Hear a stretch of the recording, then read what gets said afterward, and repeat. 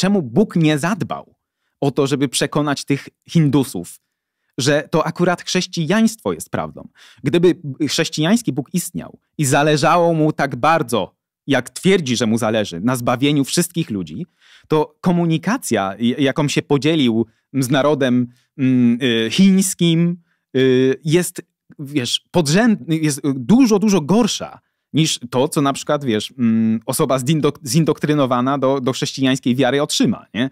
Albo czemu zindoktrynowana? Czemu to po prostu nie może być jawne? Czemu ja nie mogę po prostu odezwać się do Boga, nie?